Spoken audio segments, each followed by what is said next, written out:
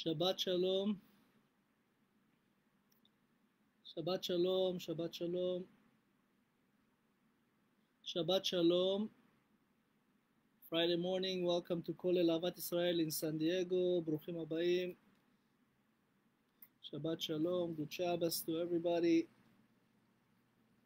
Today we have our continuation class of uh, the prophet. We just finished with the judges last week, and today is we talk about Shmuel Anavi, Samuel the prophet. And as usual, before we start, we want to do a dedication for the class. First and foremost, we want to thank our sponsor, Mr. and Mrs. Bernie and Zahavit Baruch, רפואה שלמה to ברוך חי בן חיה מרים וזהבית בת טובה בעזרת השם, רפואה שלמה. Also, לעילוי נשמת אפרים בן דבורה, זיכרונו לברכה, ורחברותה, and עינב בת שרה ואשר בגן עדן תהי נשמתם יחד עם כולם, ובעזרת השם we want to say also thank you to Danny Almog and Hila's wife for the company Need for Build for supporting the Kollel and classes, Baruch Hashem. And we want to dedicate this class in health of Flori Batrachel, Alexander Ben, Asia, Alex, Refuah Shlema, Bezat Hashem, Anat Bat Zizel, Miriam Bat Hana. חיים בן רמונד, יותם בן אילנית, משה בן מרסל, יעקב בן גניה, מרדכי בן אסתר, יניב מאיר בן חנה ענת, דוד ניסים בן מרים, בנימין בן נתן,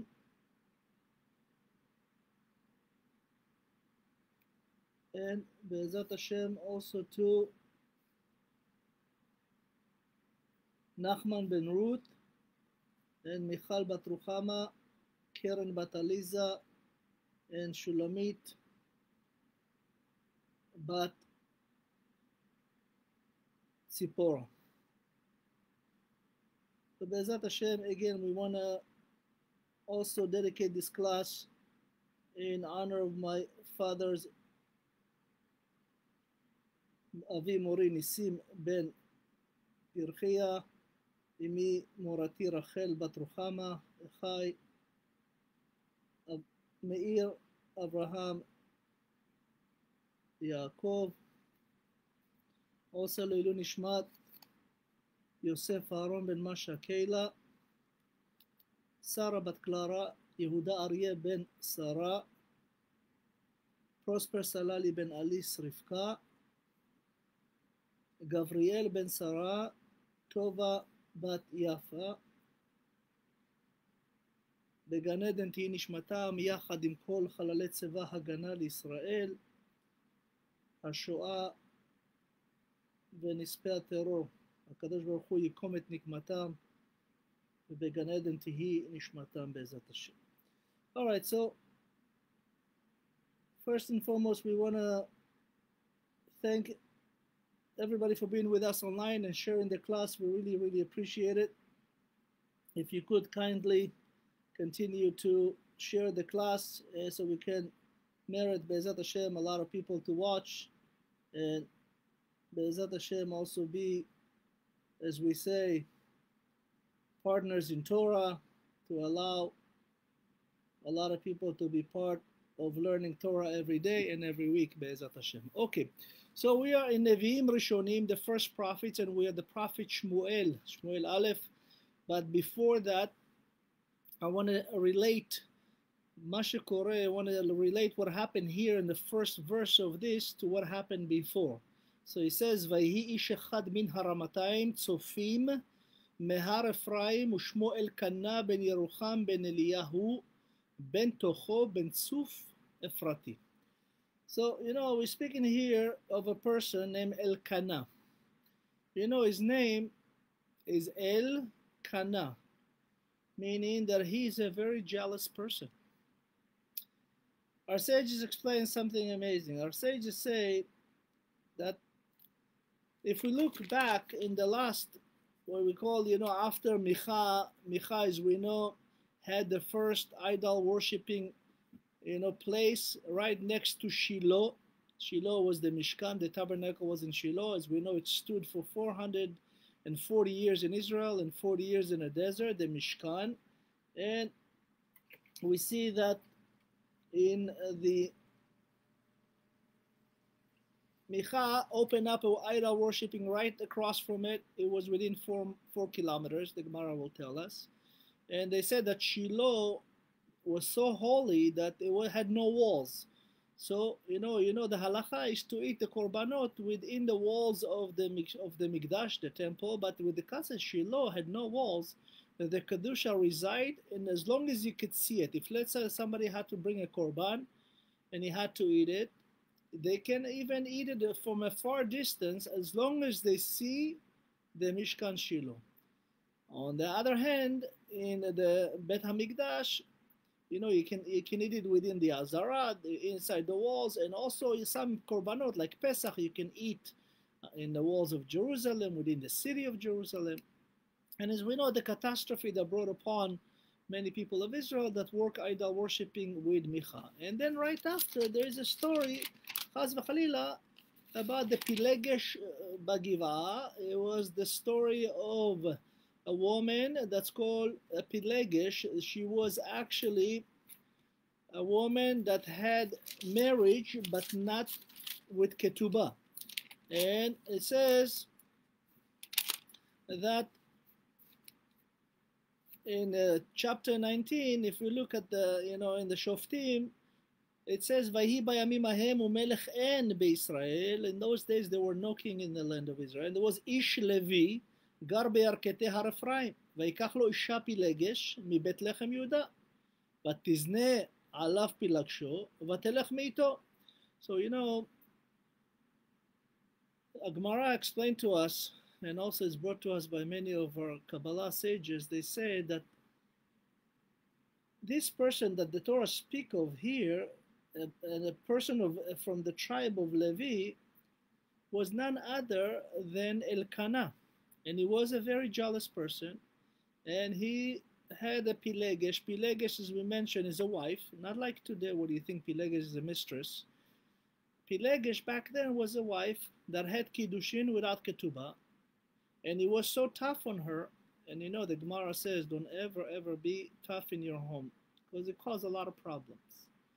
And Elkanah was so strict with his family that the wife, the Pilegesh, the wife, Pilegesh, by the way, is Yesh Peleg.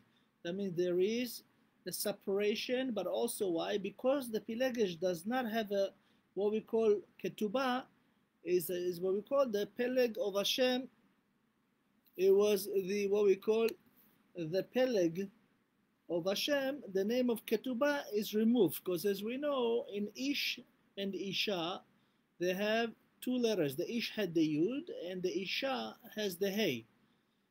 And together it's why, you know, as we know, Yud Hey is half of the name of Hashem. When you do Ketubah with let's say you marry a wife, you have a ketubah, and the ketubah is katav vav hey. You are adding the two letters of Hashem into ketubah, so you have yud ke vav ke, the whole letters, and this kedusha. But when you have a pilegesh in the old days, the pilegesh, there was a kedushin, but no ketubah. So it was pilegesh yesh peleg, you separating, and sham shem peleg. You are actually removing the half name of Hashem. So they said that Elkanah was so strict that she left him. When he says, the Torah says that she went, as we say, Vatizne alav, is not chaz v'chalila, she was a harlot. She just left, went to her father's home. She didn't want to be with him anymore. And as we know, something happened with everything. Unfortunately, you know, there were, uh, he went to get her back. And of course, you know, after he convinced her to bring her back from her father's home, they walked and they had to stay in a city in Nachalat Binyamin, in the portion of Binyamin. And That night, there were the people of Binyamin, a group of them, Pushtakim, as we call, Belial, the Torah says, very, very bad people, that actually Chaz v'Chalila raped her.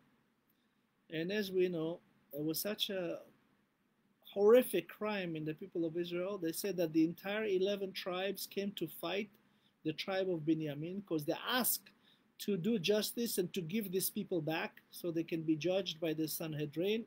And they refused. The Binyamin people refused to give them up. They should have, of course, needless to say, halachically, but they didn't. And they said that the entire people of Israel went to war against the tribe of Binyamin. In two-day war, Elohim Ishmor, 40,000 people were killed from Israel.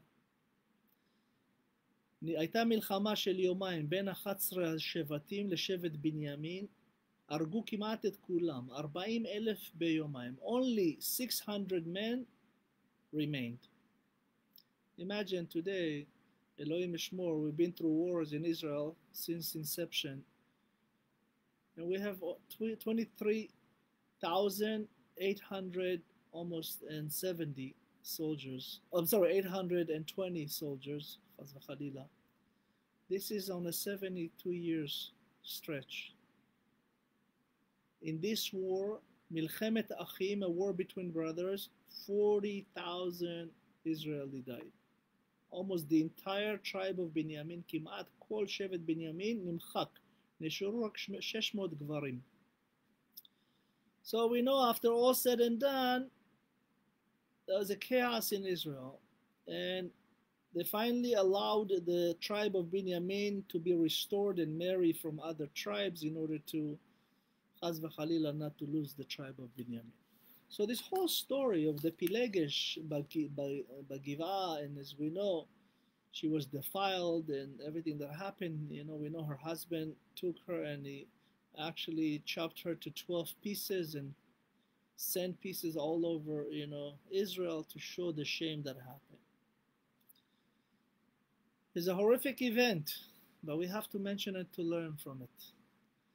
You know, everything that's written in the Torah is for us to learn from and for us to first and foremost adopt the musar, the rebuke, and how to never get there again. So now, the Zohar Kadosh says that after this event, Elkanah decided to do a tikkun. Elkanah, he was a prophet. You know, min haramatayim tzofim. By the way, the Torah says tzofim. Tzofim is not people that look, you know, to see, you know, uh, a sight from, uh, you know, over a mountain or a building. Tzofim means prophets.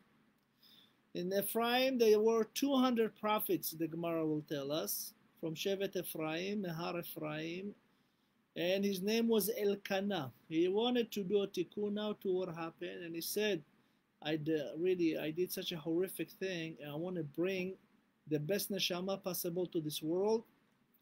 And he married two wives. He had a wife named Penina, and original wife, by the way, the first wife was Hannah. And Hannah she couldn't have she couldn't have children for 19 years. She was barren, Ita'akara, Chaisra Shana. And Pnina was, uh, as we know, the halacha is if you don't have children with one wife, back then you could marry another wife.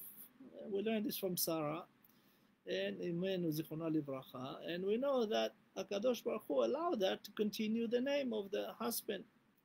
And he married another lady named Penina. and he did such tshuva that he used to go all the time to Bet Hamikdash. You know, at the time it was the, of course, the Shiloh, the, the Mishkan, uh, all the three regalim, and he says he went to ועלה איש ההוא מעירו מימים ימימה להשתחוות ולזבוח לאדוני צבאות בשילה.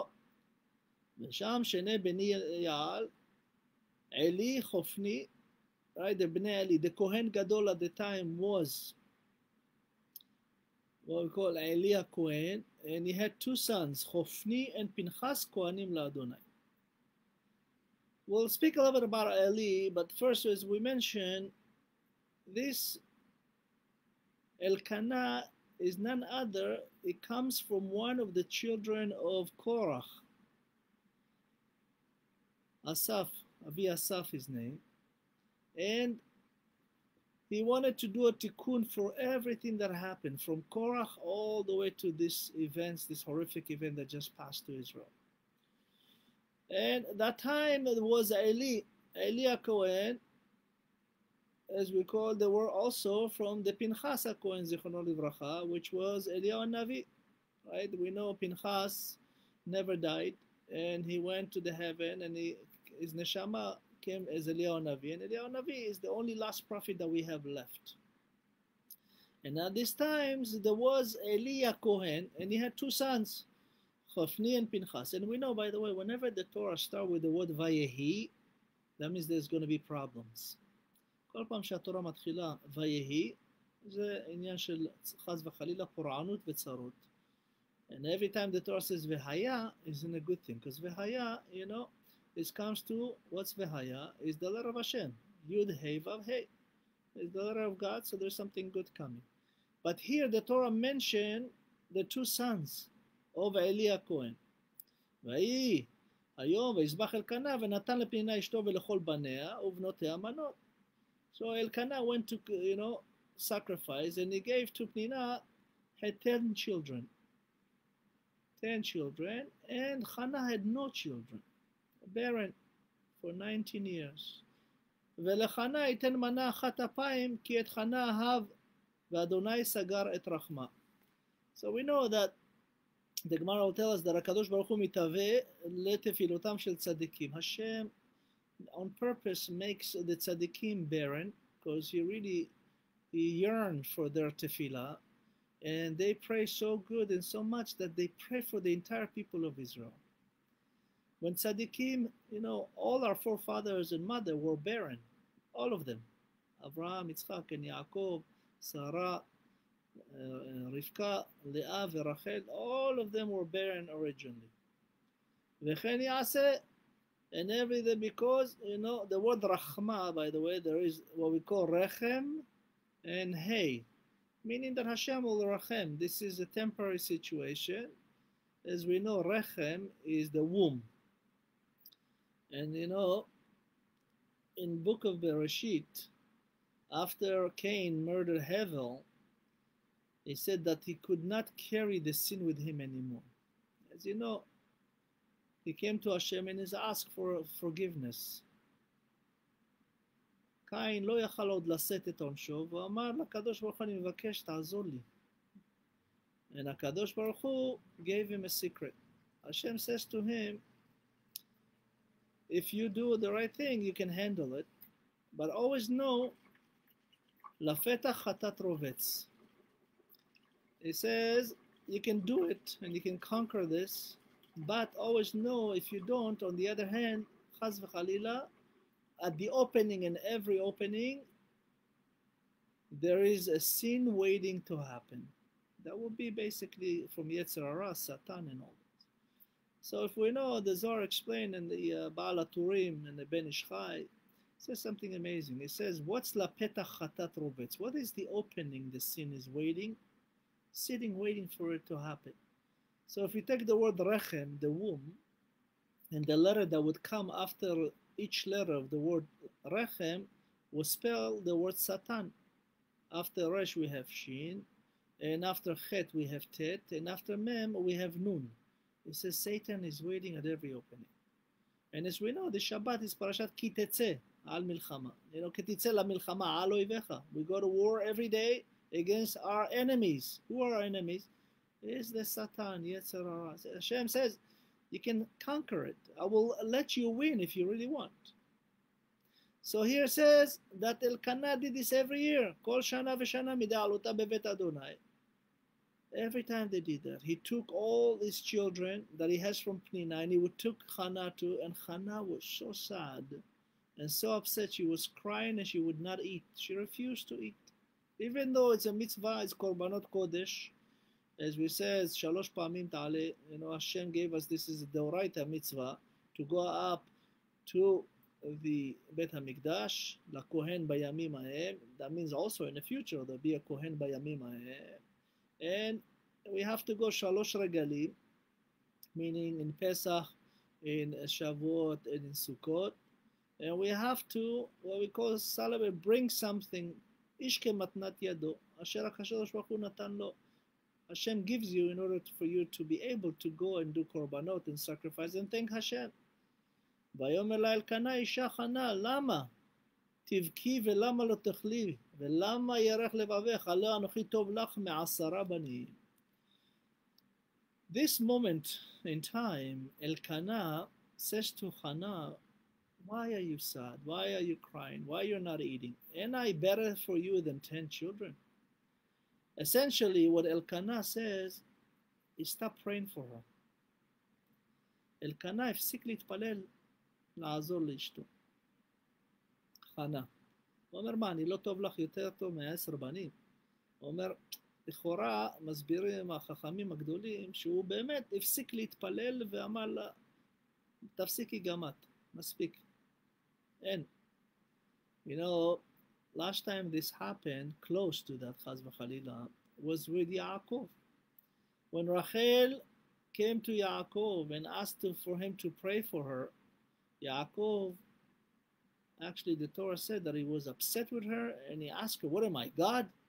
Meaning he did not pray for her and he actually very much heard her, Rachel. Rachel says, if I don't have children, Meta Anochi, I can consider as a dead person. The Gemara says a woman that doesn't have children is like a dead person. That's how she considers herself. And the Zohar will come and teach us that Yaakov said that not to hurt his wife, Chaz v'chalila. He wanted her to pray to have the best neshama to come out. Rachel is actually the Gilgul of Hannah. Hannah, Pnina would make fun of her. Every time they go to the Shiloh to sacrifice with her kids, she would make a mockery of Hannah. Elkanah, her husband, will stop praying for her. Essentially, what they were doing, even though they were doing an Avera, a big Avera, and we'll see that there was an Avera, even though they had somewhat good intention, but you don't do it through Avera, they both basically gave up on Hannah. But they wanted her to pray in such way that HaKadosh Baruch Hu will open her womb. That's exactly what happened with Sarah. You know, when the angel came to Sarah, Vatitzchak bekirba, right? Sarah laughed on her inside. She goes, I don't have even a womb. The Torah says she didn't have a womb. But HaKadosh Baruch said to Abraham, is that a problem? I created this whole world and every person, everything. I cannot create a one womb. Essentially, what Sarah was saying, Vatitzchak bekirba, she saw the prophecy come into life. Says what but Vatitzchak bekirba is Yitzchak and Rivka. She saw that actually she will have a son and his wife will be Rivka. And it says that Vatakam Chana Ochla Beshilo. So now he basically Elkanah rebuked her and she ate from the korban. And she got up and she says that ועלי הכהן יושב על הכיסא על מזוזת היכל אדוני. So now the high priest Eli, he sits right by the what we call opening of the Shiloh, the Mikdash, the tabernacle, the Mishkan. והיא מרת נפש, she's very sorrow. ותתפלל על אדוני ובכה תבכה. She cries so much. And she prays to Hashem and she makes a vow. Eli, by the way, watches this whole process and is very baffled by what's going on here. ותדור נדר ותאמר, אדוני צבאות, אם רעות תראה. By the way, this is the first time that the word צבאות appear in the Torah. Hannah actually says to Hashem, when she asked for a child, She says to him, Hashem, you have all these warriors. So the tzevaot come from the word tzava, the plural of armies, you know, army, armies, tzevaot. Hannah says to Hashem, you have all these amazing, amazing tzevaot, both in the heavens on earth. You have angels and you have millions and millions of people. You have all kinds of this. She called him Hashem Tzevaot. She gave him the name. Hashem Tzevaot, that's from Hannah. Imraot she goes, looks deeply. She asked him to really have it bonenut for her prayers and her vows. Be'oni amatcha. He says, look how I'm really, when Ani is also considered a dead person. You know, they say, Chaz v'chalila, three are considered dead in the eyes of the Gemara. He is a poor man, a blind man, and Chaz v'chalila, a person that doesn't have children.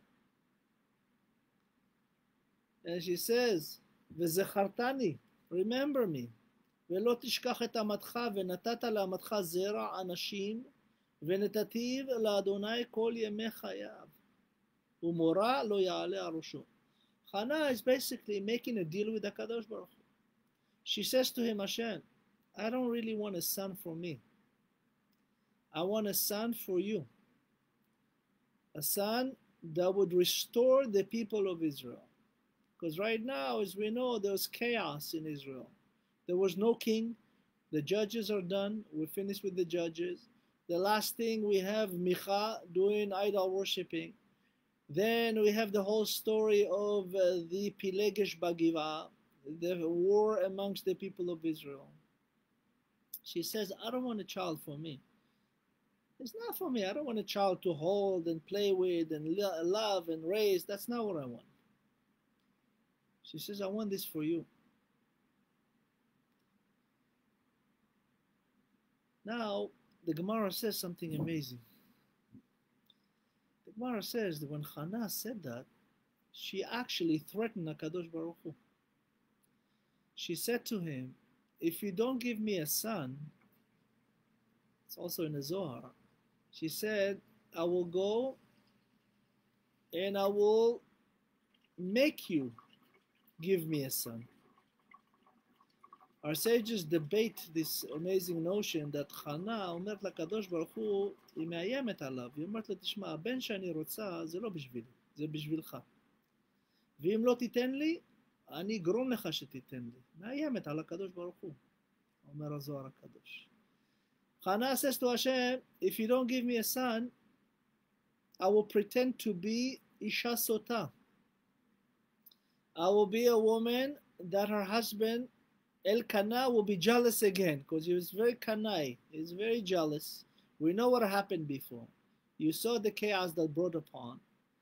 And because he's going to be jealous, I'll have to come to in front of the Elia Cohen again. But this time, we'll have to do the whole process of Isha Sota. She says to Hashem, היא אומרת להשם, אני, אתה יודע מה קרה פעם שעברה עם בעלי.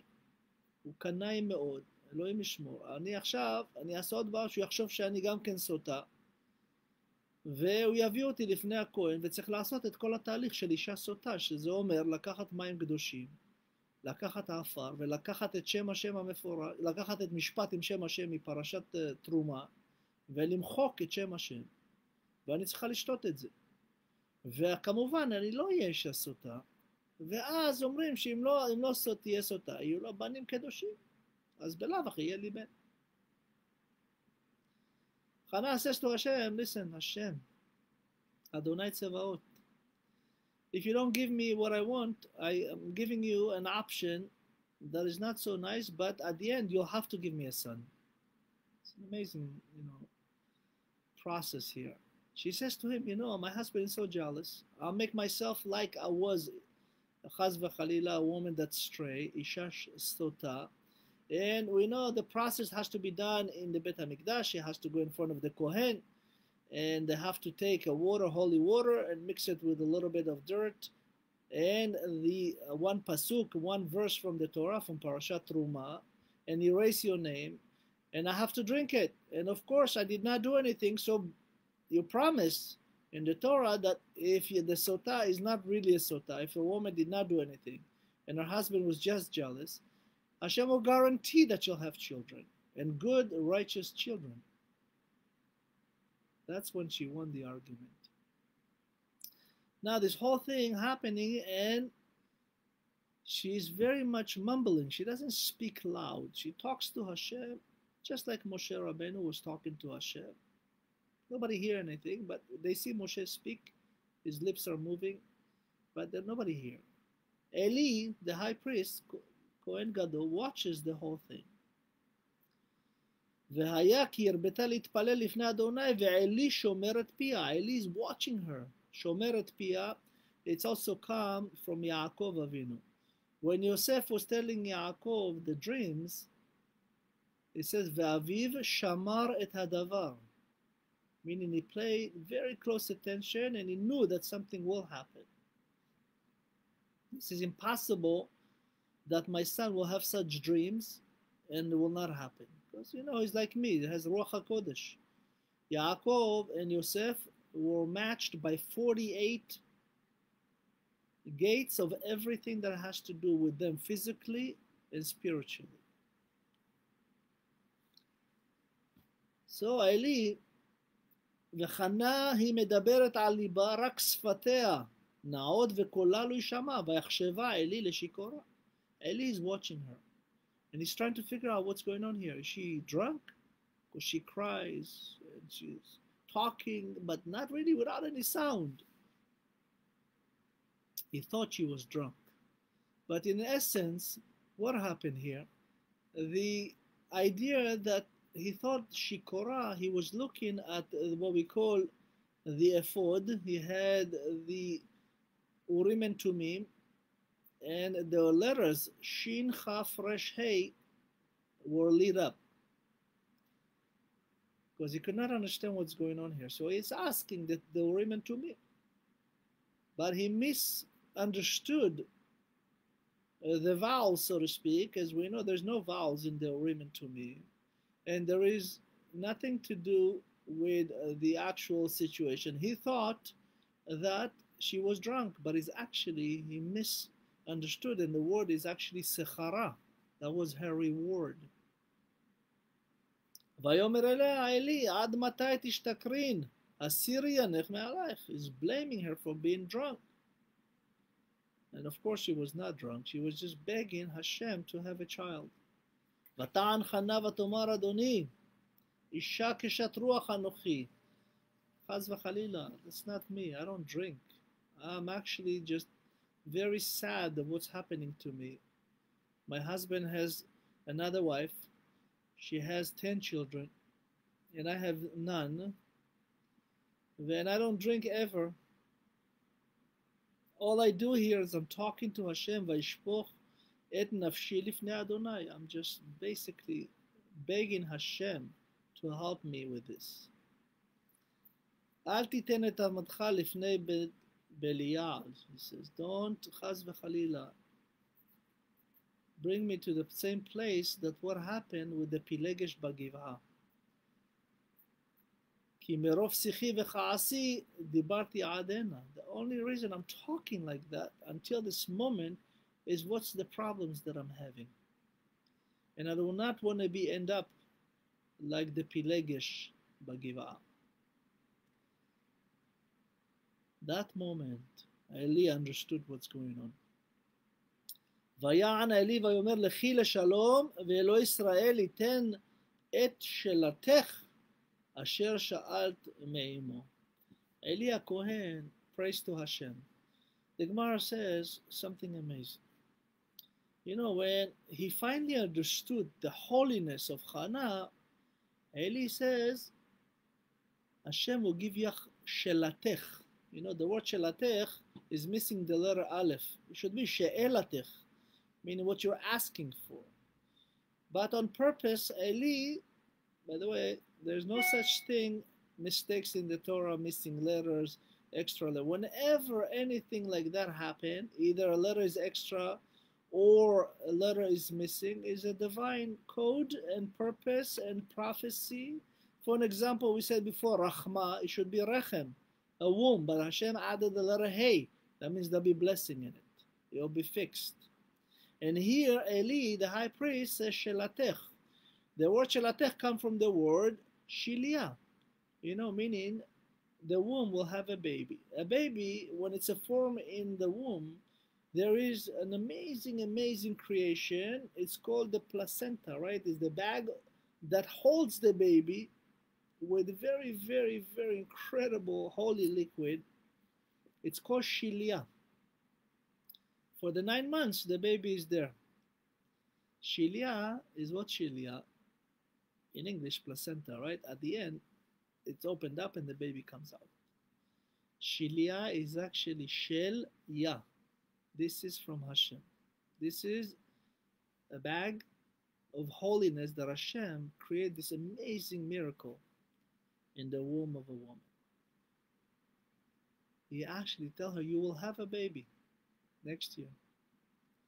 It says, I, I saw right now speaking to Hashem, praying to Hashem, and you know, I, the Kohanim Gedolim, it's not like they're just the Kohanim. They're also prophets. They can bless people, and they can see instant answers to the questions. Because you know, when the high priest needed an answer, they have to first and foremost ask the Urim and Tumim. Whenever they didn't know the answer, as we know, Urim and Tumim, ephod, iPad, Aura and Call, lights and sound, right?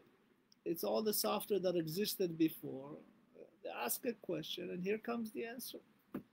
Hashem says, Yes, I accepted her prayers and her vow, and she would have a son. And Eli basically reaffirmed that prophecy to her and says Hashem basically approved that. Lechila shalom ve'lo Israeliten.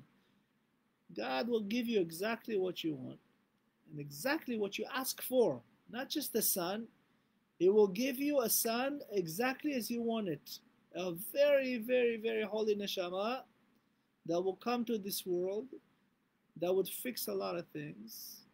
And as we know, what's she'alt? She'alt is has the word she'el from Shemuel, meaning if you take the two word she'alt, me'imo has the word Shemuel in it. It's already hidden. The name is given up front. And he sends her on her way. ותאמר, תמצא שפחתך חן בעיניך ותלך לפני אדוני. As he says, ותלך האישה לדרכה, ותאכל, ופניה לא היו לה עוד. She wasn't crying anymore. You know, because right now, for 19 years, she had a face that always cried. Imagine praying for 19 years to have a child. How lucky are we that many of us have children, no problem. And how blessed are we that Hashem, even when we can't, has the methods that's called Rapo Yerape. You know, what's Rapo Yerape? Hashem first gives them, you know, what we call the cure, and then he sends a, doctor to do the rest. For an example, today we have Baruch Hashem, unbelievable, you know, process called the IVF, the in vitro. And many, many, many women that couldn't get pregnant before now can get pregnant and have children. This is Rapo Rapé. This is from Hakadosh Baruch Hu, allowing many, many women and husbands that could not have children a second chance at life. Why? Because they deserve it. Hashem wanted them to pray and to really ask Him for what they want. And Hashem says, Don't worry. Even though you think He can't, many times there's a story that I have to tell you. It's unbelievable, unbelievable story. In Yerushalayim, that happened not too long ago. There was a lady and her husband that were trying to have a child for 17 years. And they prayed religious, very religious, 17 years. And they went to treatment, and finally, finally, Baruch Hashem, the, the wife got pregnant.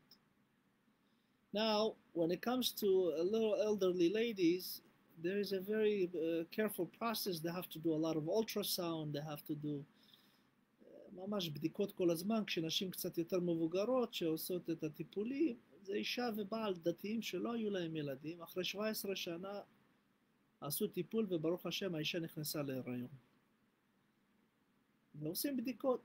So you know it starts in a very early and then when she was about almost five months, they do an ultrasound and the doctor comes out very, very upset looking face. And uh, the wife and husband says, What's wrong? The wife and husband look at the doctor. The doctor says, I'm sorry, but there's a big problem. We have to abort the baby. It's five months. They said, What are you talking about? What do you mean? He says, We have to. Why? They ask. He says, There's a child has three legs. Three legs. They were so sad, so upset, they waited for 17 years. They went to a few rabbis in Jerusalem to the Mekubalim of Jerusalem. Not just rabbis, rabbis that just the highest level of rabbis. And all the rabbis said to them, No. Tell the doctor no. This is what Hashem wants. This is what's going to happen. We do not abort. There was a big, big fight between the legal system, the doctors, the hospital, the rabbis. They do another ultrasound, same thing, three legs. As they get closer, the woman goes to birth to give birth. They were twins. They never saw the other baby. Baruch Hashem, emunah of the rabbis, and they know that Hashem is all good. Whatever He does is for good. The stupid doctor thought it was three legs. There was actually another baby hiding so well there that they could not see. That you could see only the legs. At the end, she had twins. בסוף נולדו לה תאומים. The story is given to us by Rabbi Bnayahu, a tzaddik in Yerushalayim. So we see that Akadosh Baruch Hu not just gave her one, gave her two, Baruch Hashem. So we see that here Hannah, she's finally not sad anymore. She's happy and she eats the korban. וישכימו בבוקר וישתחו לפני אדוני וישובו ויבואו אל ביתם הרמתה. says now after this regalim they go back in the morning they do the last prayers before they leave with the Eliah Cohen I want to mention why the Torah mentioned the two sons of Eli Chofni and Pinchas the Torah said that they were actually very bad children the prophet came to Eli and told him your sons are gonna die why? Because they do, Chaz v'chalila, there were two sins that destroyed the Mishkan of Shiloh. One was Gilu Arayot, adultery, and the other one, Eli and Chofni used to take more than they deserve and before Hashem portion of the Korbanot.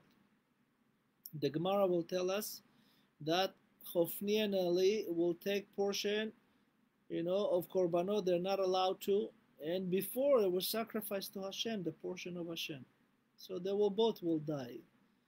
They're saying sometimes it was a Gilgul of the sons of Haron, Nadav and Avihu.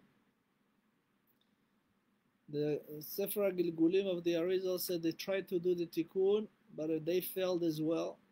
And as we know, Nadav and Avihu, they were reincarnation of Noach and Adam. Nadav with Nun, Noach, Avihu, Adam. They actually wanted to do tikkun for Noach and Adam for getting drunk. That's why they had the wine and went to the Kodesh HaKodashim to, to ask for tikkun, but of course they failed and died. So as we said, וידע אלקנה את חנה אשתו, ויזכירה אדוני. As we see here, just like when Adam Arishon, it says in the Torah, וידע אדם את חווה אשתו. Adam knew his wife, meaning that they had consummated their wedding and marriage. You're not allowed, by the way, speaking of Kedushin. Today we see a lot of problems with many, many men and women live together without Kedushin. This is not allowed. You are not allowed to be in the same house without Kedushin, meaning marriage. The first mitzvah in the Torah was the family unit, Kiddushin, and having children. Prurvu. And the Torah immediately goes to Vayeda Adam et Chava Ishto. She was his wife. That means there were Kiddushin. That's why we know the Torah was already existed much before, as we say in Masechet Shabbat, in Peichet, in 88 Bet, in Masechet Shabbat, in Tractate of Shabbat, it says that the Torah existed 974 generations before this world was created. So, וידע אלקנה את חנה אשתו, ויזכריה אלוהים. Hashem basically, what's ויזכריה? Not really remembered her. Of course Hashem remember everybody. It means ויהי זכר. HaKadosh Baruch Hu gave her her wish. She's having a boy, not a girl. ויזכריה ויהי זכר. Meaning that here Hashem gave her exactly what she wanted. ויהי לתקופות הימים ותהר חנה ותלת בן ותקרא את שמו שמואל כי מאדוני שאלתיו. Hannah gave him a name, not her husband Elkanah. Hannah gave him the name Shmuel. Why? Because I borrowed him from Hashem. In essence, by the way, a pregnancy, as we know, in the old days there was no pregnancy. When Adam and Chava had children, five of them, it was a matter of minutes. There was no pregnancy. They came out ready. Only after the curse of the sin of Adam and Chava and the snake and the earth, the pregnancy came to world. As we know, Betzar tel banim. Betzar tel banim. You know, you'll have sorrow and pain when you have children. Only then pregnancy took nine months. The word herayon in Hebrew, pregnancy, is exactly 271, alluding to the exact amount of days of pregnancy, nine months. We know sometimes there is early pregnancy, like with Moshe Rabbeinu, was born when his mother was six months pregnant, and Yocheved was 130 years old when she gave birth to Moshe Rabbeinu. Unlike Sarah when she was 90. And the Gemara says when there is one miracle, we don't have to explain the other. It's already a given. So Hannah gave him the name Shemuel. Why? Because I borrowed him from Hashem. It's not really for me, it's a borrowed. You know, there's an amazing story about Rabbi Meir Baal HaNes. You know, Rabbi Meir Baal HaNes, just so you know, he came from Neron, the Caesar of Rome that converted, and he got married to a Jewish lady. He was married before to a Jewish lady that was keeping Shabbat in Rome, but when he escaped and when he went to Jerusalem to destroy it, and as we know the story, he, his wife said to him, Go to Beit HaMidrash and ask the first young Talmid that comes out, what did they learn? The last thing they learned, it's called Pasok Tifsok, is halacha. She revealed to him, whatever he'll tell you, that's exactly what's going to happen in a very future and near prophecy, meaning in days, in hours even sometimes. And he saw this boy, and he asked him, what you learn? And the boy said, wow, we just learned from the book of Yechezkel, Yechezkel, Ezekiel, that Hashem will punish uh, the Edomites that want to destroy Jerusalem. So he said, I'm not going to be the one. And he left. He actually deserted the military in Rome and he went to a city and he started learning Torah and he ended up marrying a Jewish lady. He converted and from him will come Rabbi Meir Baal HaNes. Rabbi Meir Baal HaNes had two boys. And one Shabbat, he was praying so much that he didn't realize the boys are missing from him. So when he came, he asked his wife, Bruria, where's the children? Now, hours before, both of the children died on Shabbat. And Bruria did not want to do Chilul Shabbat with her husband, so she took and she hid them in the attic. And after the meal of Shabbat, Rabbi Meir Baal says to Bruria, where's the children? She goes, oh, they're out and about, you know. And as the evening was getting, he was starting to worry. So, where's the children? So she says, Can I ask you a question, Rabbi? Bruria says to him, You know, if somebody come to you and they give you a very, very expensive treasure to hold for them, and they say, Listen, one day I'm going to come and ask for it. I don't know when. I'm leaving now. I don't know when I'll come. But please, when I come, don't ask me questions. Just give back this treasure. Would you do this for them? Meir Baal says, of course I'll do it for them. 100%, of course. Why not? The mashkon is something that you have to hold, picadon. They hold, you are basically, it's not yours. You're just holding it for them. And when they want it, you have to return. It's halacha. So come Motzei Shabbat. Bruria said to him, you know, this picadon that I was telling you about is our children. They passed away. Hashem gave it to us as a pikadon, but He came today to take them back. And Rabbi Yehuda was, of course, very upset, but he looked at his wife and he says, just like Yehuda said about Tamar, Tzadka mimeni, she's more righteous than I am. That's why her name was Bruria. She was explained even to Rabbi Meir Baal HaNes what Hashem really means and wants. Our children, just so you know, are not ours. They are a mashkon, they are a pikadon, they are a gift from Hashem to see what we do with them. Same thing with our wives and husband and family.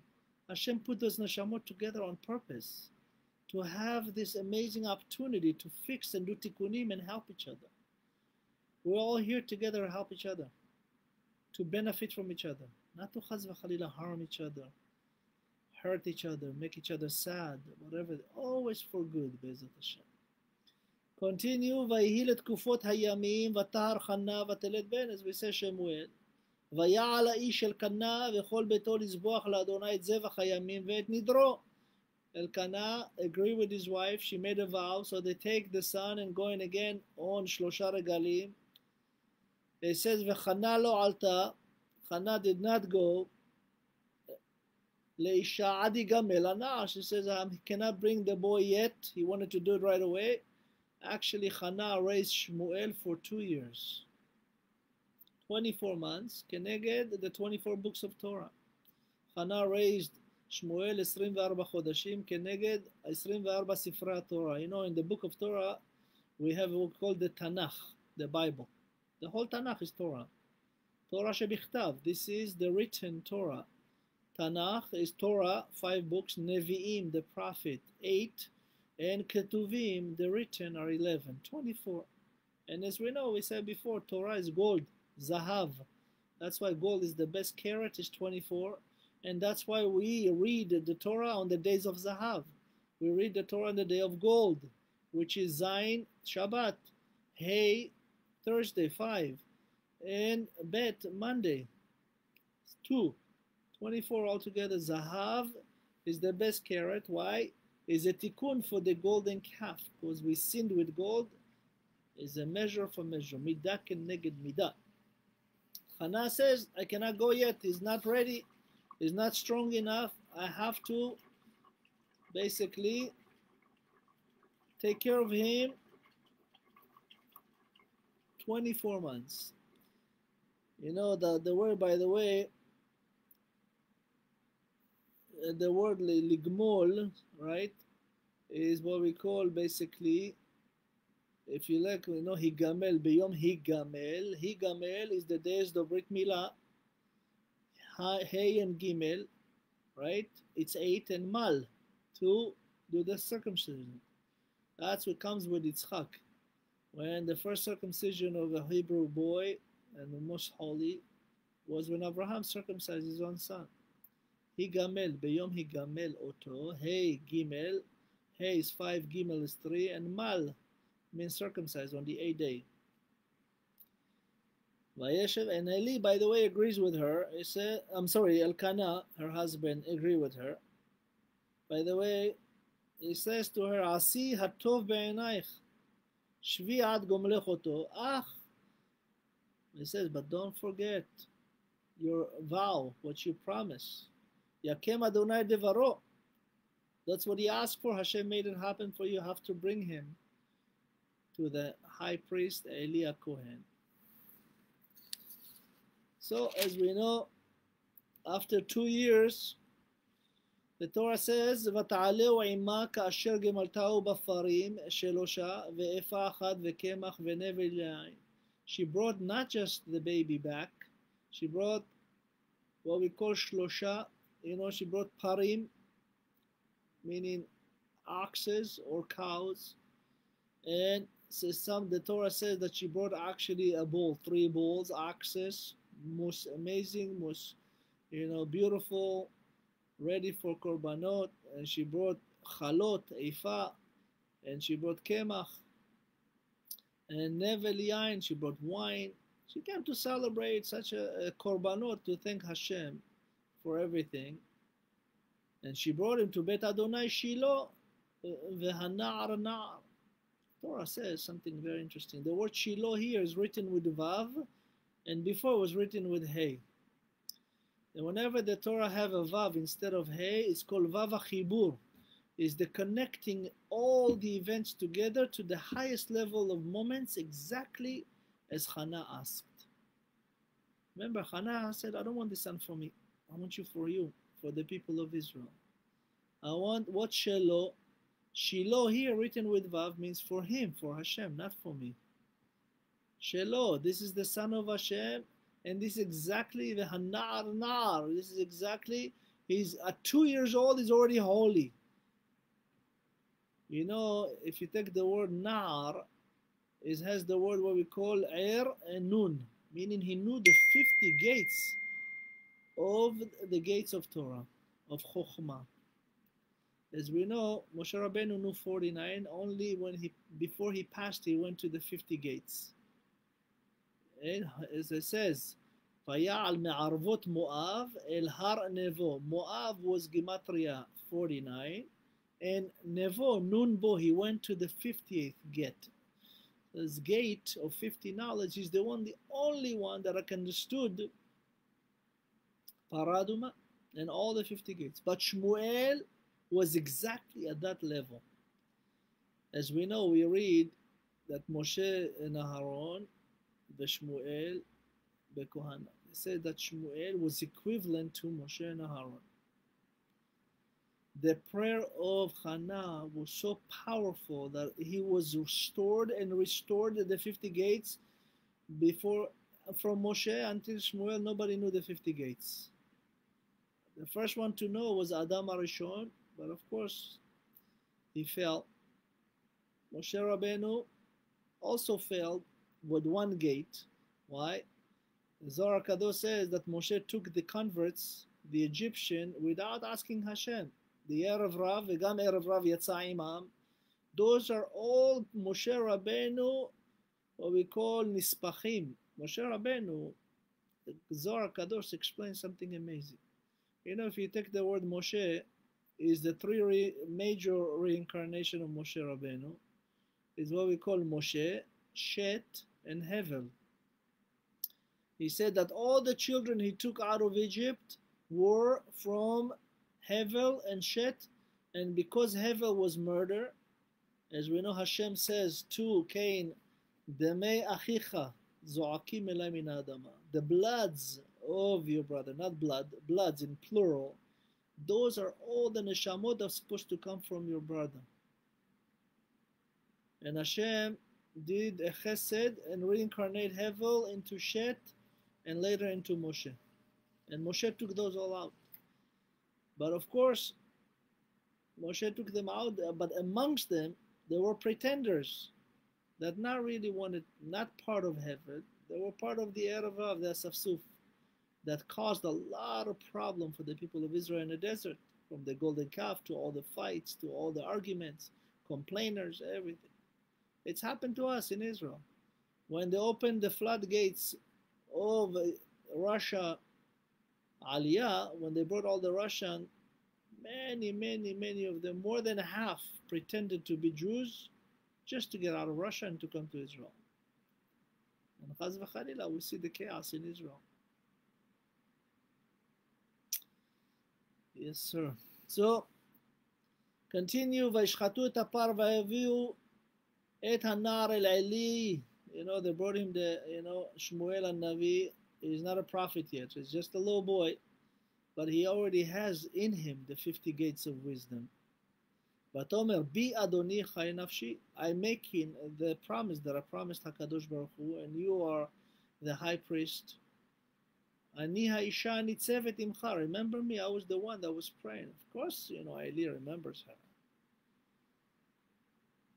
ניצבת עמך בזה להתפלל אל אדוני. So, something amazing. The word ניצבת, I don't know if you know, but David HaMelech, mother was Nitzevet Bat Adat El.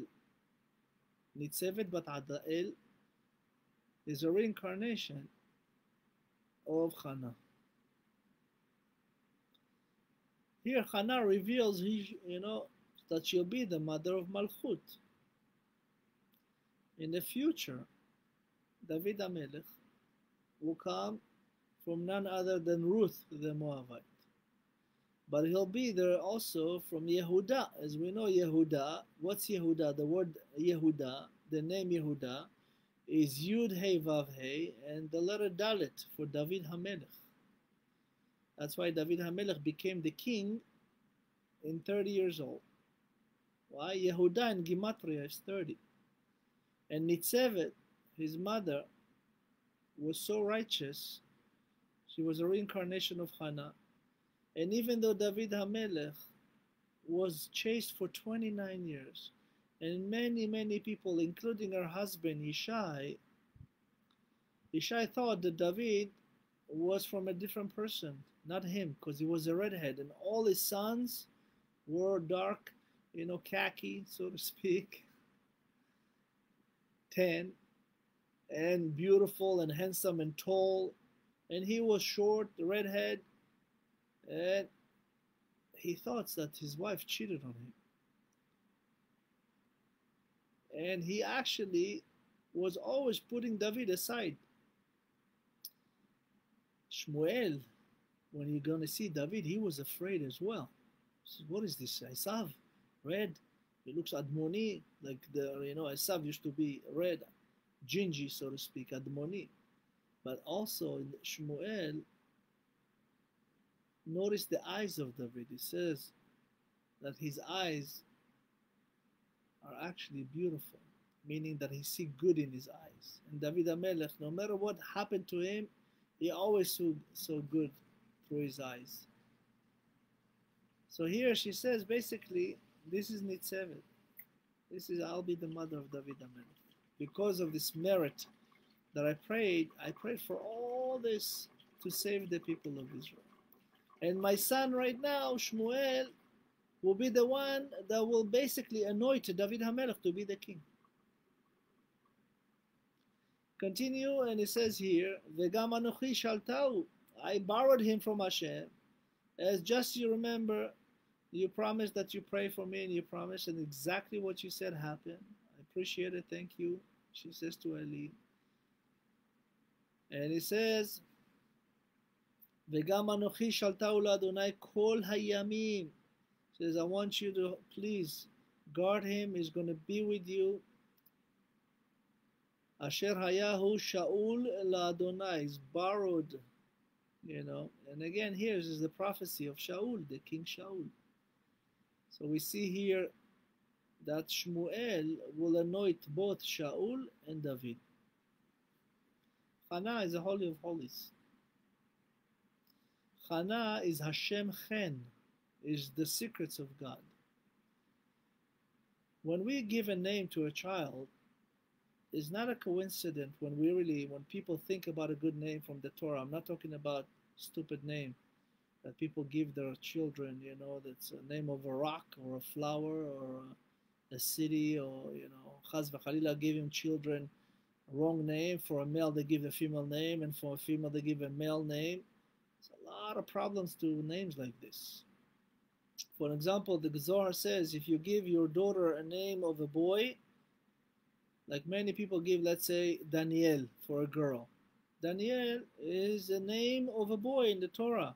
That means this why uh, this woman as a wife will have problem having children. When we give a name, a true name through the Torah, because we always look for the parasha when the babies are born. That's why we don't give name until the Brit Milah. Why do we wait? We wait eight days. It's still it's considered Arel. He's not Jewish yet. Only on the eight days.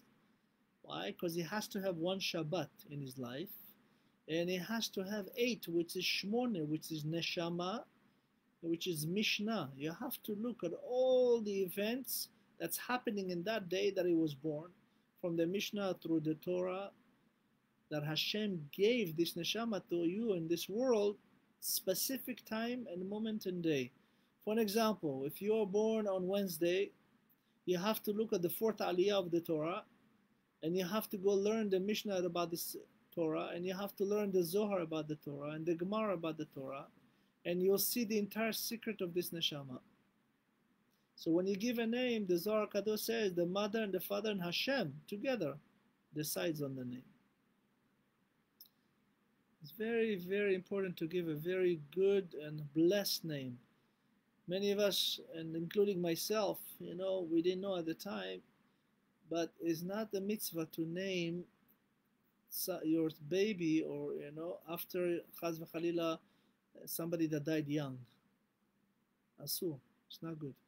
You have to give a name of somebody that died old, tzaddik, righteous.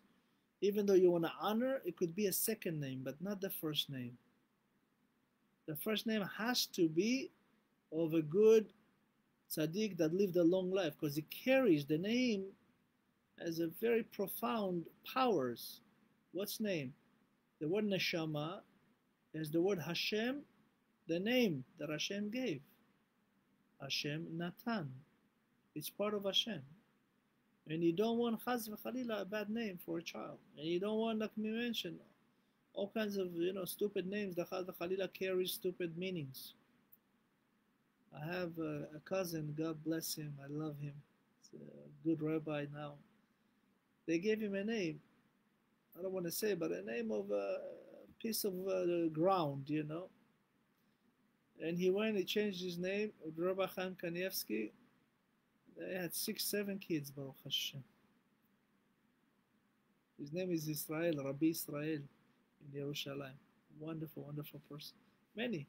The name carries a lot of things. So we'll continue.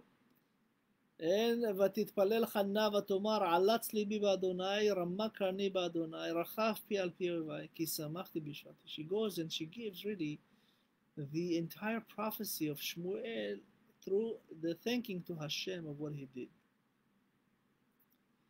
And she here she said really everything that she asked for, she received and then some. And she's such a high level in the Rama. It's from you know, that's what they call the Ish from Ramatayim. You know, the very very high level now. That's why Elkanah wanted to do the tikkun. And when he actually gave up, his wife says, "No, I know what you wanted. I will continue to pray for it, and I will make it happen for both of us." That's an Eshet Chayil. And just so you know, Penina was mocking and mockery out of Hannah every time. And every time Hannah would have a child, Penina would lose two. Hannah, she had more children, not just Shmuel, and Penina lost all her ten children. Why? Because she made such a sorrow and pain. The Gemara says that Hashem hates more than anything four kinds of people. One of them is called Eved Ki Imloch, meaning if you have, uh, you know, and your husband and you cannot have children, and you bring somebody else. And this woman thinking she's better than the wife. That's what happened with Hagar. When Sarah says to Abraham, I want you to throw Hagar out of the house immediately. You know, Abraham went to complain to Hashem. Hashem said, What are you even asking me? Shema Bekol Sarah. Don't even ever ask me again. You listen to your holy wife. It says that when Ishmael Ayam metzachek, he actually wanted to kill Yitzchak and doing idolatry and Gilui Arayot. Azba He wanted to do the three things that destroyed the first temple. Those are the three things that we're not allowed to live for. We have to sacrifice ourselves on Kiddush Hashem adultery, idolatry, and murder. If somebody asks us to do any of the three, you have to say no and be willing to be killed on Kiddush Hashem, sanctified. Everything else you should live for. Those are the only three things. So continue Hannah. And she says, אל תרבו תדברו גבוה גבוה, יצא עתק מפיכם כי אל דעות אדוני, ולא נתקנו עלילות. She basically says, listen, my son, which is not really my son, I was just the vessel to bring him to this world. Shmuel, he will be the one that will have the highest levels of knowledge of the prophecy more than anybody. Many people will come and say things. No, don't listen to anybody. Listen to him. The Torah says lo with vav, even though it's written with lamed aleph, but the way you read it, with lamed vav. Lo. You know what's lo? You know when Yitzchak Avinu was praying for his wife Rivka, Yitzchak and Rivka were both barren. And the Rashi says there Vayater lo velola. Hashem received and answered his prayer and not hers. As we know, lo in Gematria 36. Lo is also, as we said, there is 36 hidden righteous people in every generation. Hashem reveals to them a lot of prophecy. And we know today we're in Acharit Ayamim, and many of those hidden righteous people, Tzaddikim Nistarim, Lamed Vav, Tzaddikim Nistarim, 36 of those, they already attest that Mashiach is already here.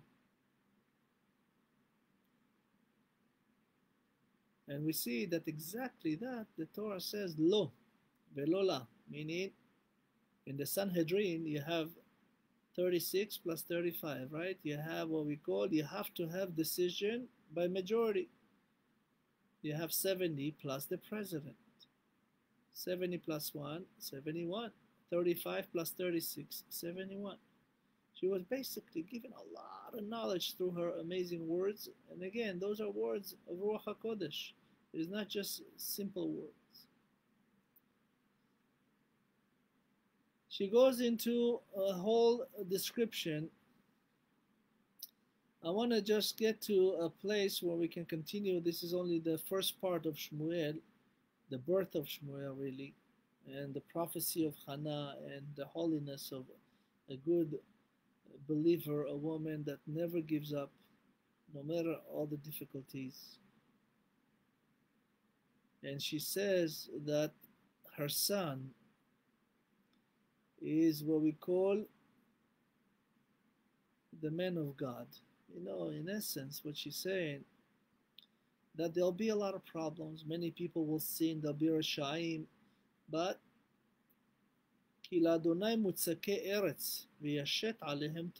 So at the end, it's really, it's all the decision of HaKadosh Baruch Hu.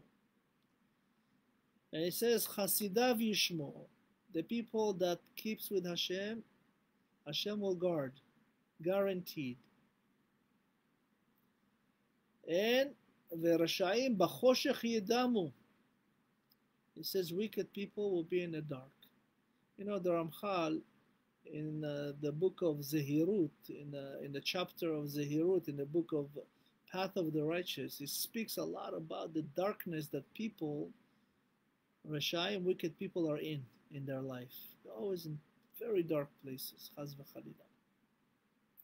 And the Hasidim, it's really have the light with them. It says, Or zaru ala tzadik ulishre'lev simcha. The light, both the concealed light or haganuz, in the future they'll be part of, they will be in Gan Eden with this kind of light. Even in our world, in the physical world, they see light, even at the darkest places, chaz v'chalila. They never ever weather any problems, any darkness. They see light. That's why, as we know, if you go into a dark tunnel that's been there a thousand years underground, you light one match, all the darkness of 1,000 years go away. In essence, when you light a switch, no matter how big the hole and dark, you don't see anything. In a split second, the darkness disappear. When we have darkness in our life, is because it's the absence of light in our life. When we don't have all, which we know is really light, Adam and Chava originally were made out of light. And only after they went to a dark place and sin, Hashem made them Iver, or skin. Or is the letter Ain Vavresh. They were blinded. They were not seeing the real light anymore. It's a different kind of light. Not the Ora Ganuz, not the concealed light. By the way, this concealed light, anybody, millions of people that had what we call clinical death, they always describe the same kind of light.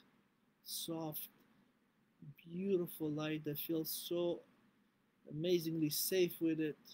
The neshama is floating, no problem. They could see through trillions of years and stars and galaxies. Nothing, no problem. But the wicked people, they see a lot of darkness and chaos and all kinds of sight that Chaz Khalila. It's here, Hana alludes to that. She says, Don't worry, for the Hasidim, HaKadosh Baruch Hu will keep and guard. The wicked will be in the dark places. Kilo bekoach igbar ish is not the strength of a person. What's koach? You know, koach in Gematria is 28. When we are with Hashem, we have strength. Yadid, Yadid in Gematria is 28. Yudalet, Yudalet, which is Yad to Yad. You know, we are handing our hands into the hands of God, so to speak, and hands of each other. We become friends, we have strength. Akadosh Baruch Hu created the world, you know, our world that's been now 5,780 years. It's a very interesting world as far as the division between water and land. There is 72% water in the world and 28% land. When we have the koach, the water can never overtake us. It's always been the same. And it's exactly how every cell in our body has 28% matter and 72% liquid. 72%. Why 72? Hashem name is 72 letters. One of Hashem's name. When Hashem says, "Ani bati ba'av," I'm coming with a cloud. Ain bet. 72. This in the name I'm going to come to speak to you the two commandments. And Moshe will speak the eight. So Kadosh Baruch Hu allow Hannah here to give so many amazing prophets. Why? Because she was truly righteous. She wanted to do for others more than herself.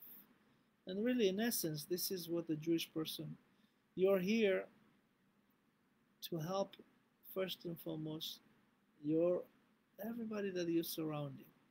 And you're here to do and emulate God. Because you know Hashem is all good. And He wants us to always be in the light and not in darkness. Even Hashem says the first thing, you know, after uh, we know Hashem created several things before the light, but the first thing that Hashem, you know, so to speak, after they created the heaven and earth and He created everything in between, He created the light, Vayehi Or. let it be light. First thing is I want to bring you into the light. Always. See the light, be the light. It's very interesting. You know, light was created on the 25 of Elul. Hashem started creating the world on Sunday. That was Kaf Hei Be'elul. And if you count from the word Bereshit 25 words, you'll find the word Or, light. So with that, I want to finish with the last prophecy of Hannah before we move next week to Shmuel, the boy, the prophet. She says here, Adonai, Yechatu merivav alu, meaning it reads alav, בשמיים ירעם אדוני ידין אפסי ארץ וייתן עוז למלכו וירם קרן משיחו. She's basically said Hashem, of course, will punish the wicked people, the one that does the sins, and the one that will fight with him and with the people of Israel, and the people in Israel. Why? Because Hashem, they go against Hashem, both in heaven and earth, Bashamayim Yera'im. Hashem will be very upset in the heavens. But he will judge those so-called Afse. Afse Aretz mean the zero, the people that has no meaning. That's why Hashem says, Lo bemot amet ani chafetz. Hashem says, I'm not looking to kill the dead person. He's already wicked people, they're known to be dead in their life. And tzaddikim, not to be alive when they're dead. Hashem says, yes, one day you'll be punished. You'll be considered zero. Efes zulato. When we are not with Hashem, we're zero. There's nothing that worth for us to be kept. Or return, as v'chalila, some of us are have the ability to return as a reincarnation because there's good in us that needs to be brought up to the highest level and re remove the sin from their other so-called reincarnation. Some of us don't have that. Some of us become zero and never ever khalila come back to life, both in this world and the world to come. It's called karet. When this nefesh is removed from the people of Israel, from the tree of life. But Hannah says, Vaiten oz lemalko vayarem keren meshicho. So as we know, when Eliyahu Navi will come, he will blow the shofar, the keren. Keren, the Zohar Kadosh says that Eliyahu Navi will use the same horn that Abraham Avinu used after the Akedah when he sacrificed the ayil, the ram. It said the Zohar Kadosh that the ram had one horn. And uh, Abraham Avinu took it and made a shofar and he blew that. And Eliyahu Navi will blow the same shofar announcing Mashiach. Vayaram Keren Meshichon. So Bezat Hashem, may we all merit to be part of this coming of Mashiach. Bezat Hashem. I want to wish you all Shabbat Shalom. Parashat Vayetze. Remember, you're coming out this now, this month of Elul, to fight evil inclination. And if you merit, Be'ezat Hashem, and I hope you all will, come to next week Parasha Kitavo, then you can come into the promised land, the heaven, both on earth and on heavens. Have a wonderful Shabbat. Shabbat Shalom, Bezat Hashem. I want to thank you all for watching and sharing. I'm Rabbi Dahan here in Kollel Ahavat Israel in San Diego. And really, truly appreciate you watching and sharing. This class will be posted on our website, neshatorah.org. God bless you. Shabbat Shalom. Tevorchu mipi elyon. Toda